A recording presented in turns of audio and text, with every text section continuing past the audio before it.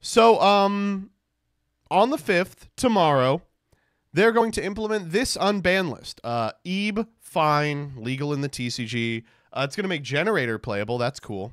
Dragonic Diagram to three, whatever, not a big deal. Uh, Masterpiece, I've long said this card could come back. It's not that big of a deal.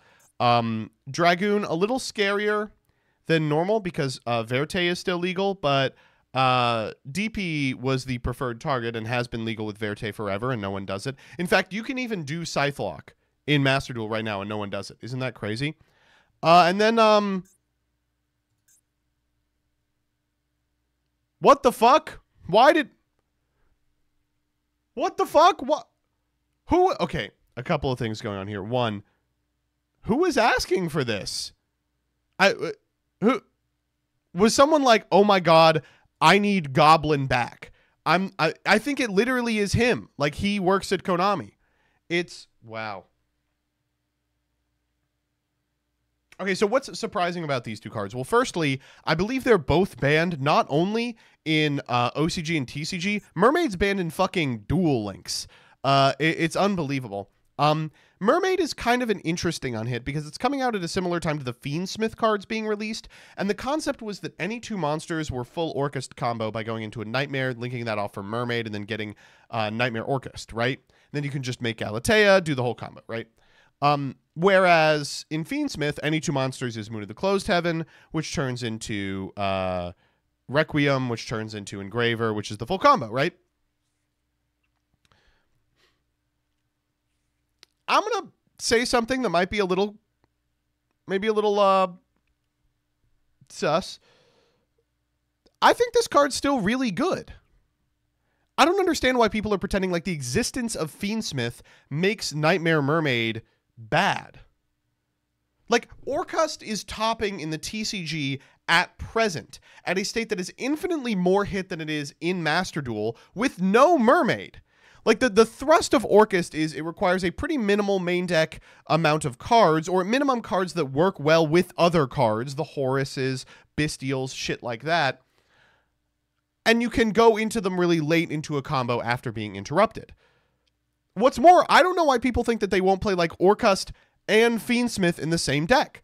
Like I think this is going to give rise to some really consistent, uh, like uh, low to the ground, like Kashtira, and then a million hand trap decks that go like, okay, first we'll lead to Desirae, then we're gonna link off, let's say, um, a sequence and one random monster for uh, Knightmare Phoenix, and then make Mermaid, and then do that half of the combo.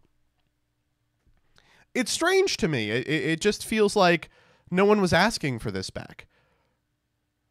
And that sounds fun. I don't know. I think Yu Gi Oh! players don't know what they want because there is such a universal dislike of Fiendsmith, a deck that is so similar to Orcust that the arguments about Mermaid cannot avoid talking about Fiendsmith's applications. And yet people are like, oh, but I want Orcust back. I think it is new, bad, old, good regardless, I don't think this is going to like ruin the game. You know, I don't think there's going to be like people who are like, I was going to play the game, now I'm quitting because Knightmare Mermaid exists, right?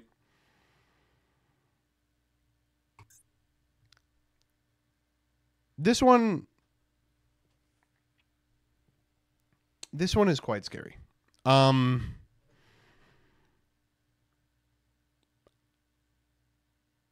it's strange for a number of reasons. Firstly, a perfect application of this card is that it's bad. That this card is not good, that we have moved beyond it, and that it is never going to see play in anything. This is something that we kept running into with the Masochist Banlist tournament. If a card is bad, we'll see no play in anything, but does enable a completely unfun bullshit FTK, why leave it legal? Sure, it's not a good card, but the only thing it's ever used for is evil. So why unhit this.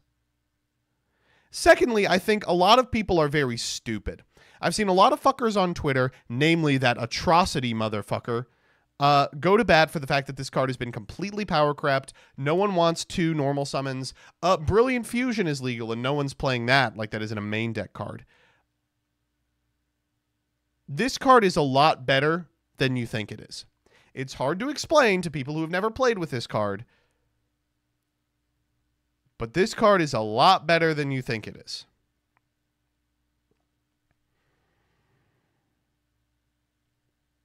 The thing that people are, I think, correctly identifying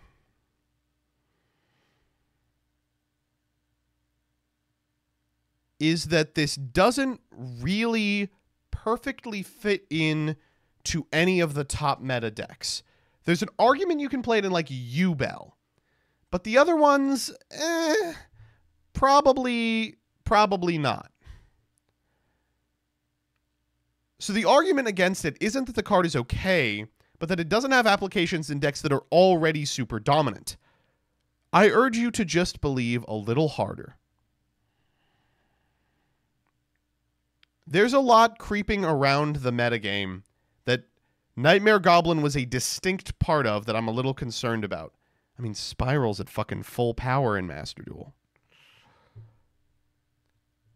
Again, I hope that the worst doesn't come to pass and this is played in nothing, but that's the best case scenario that it's bad and just shows up in dual tainting every four weeks.